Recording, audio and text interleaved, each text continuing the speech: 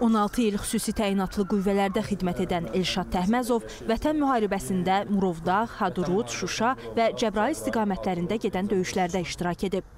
Qəlpə yaraları alıb, üçüncü qrup əlildir. Vətən uğrunda sağlamlığından keçib, dövlət isə onu diqqətdən kənarda qoymur. Bugün üç otaqlı mənzillə təmin olundu.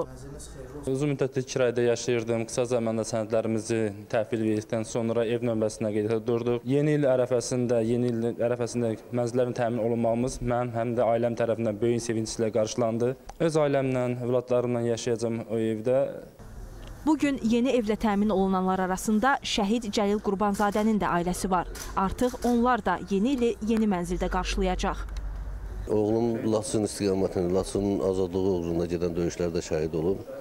Möhtərəm prezidentimizin fərmanı ilə Vətən uğrunda medalı və 3-cü dərəcəli vətənə xidmətlərə görə orden ilə təltif olunub. Həmin evdə şəhidimin bacıları, anası, atası, yəni mən yaşayacağam.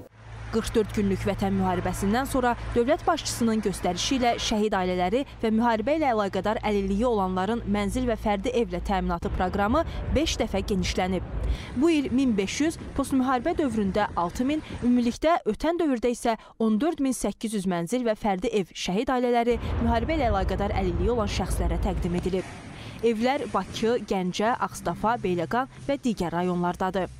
İlin əvvəlində də dövlət başçısının tapşırığı ilə 1500 mənzilin və fərdi evin verilməsi tapşırığı verilmişdir və çox sevindirici haldır ki, ilin sonuna bu proqram vaxtında və uğurla icra olunur. Avtomobillərin də verilməsi 424 avtomobil verilmişdir.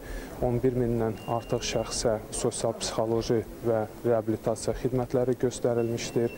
2000-dən artıq bizim müharibədə xəsarət almış şəxslərə reabilitasiya vasitələri verilmişdir. Sosial dəstək tədbirləri qarşıdakı ildə də davam edəcək. Vüsal Arif Soy, Elvin Qəhrəmanov, Xavər Zayrova, ASTV xəbər.